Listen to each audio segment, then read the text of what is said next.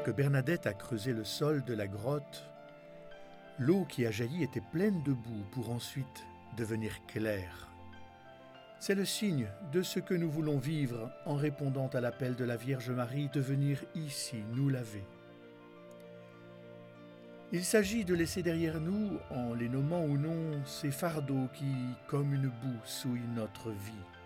Certains se lavent simplement le visage aux fontaines, alors que d'autres choisissent le bain des piscines, un acte très intime et néanmoins porté par le service et la prière des pisciniers.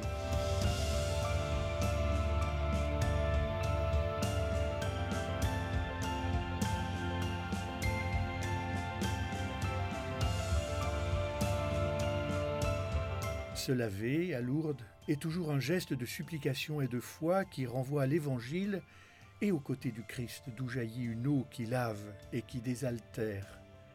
Voilà pourquoi il faut aussi boire de cette eau.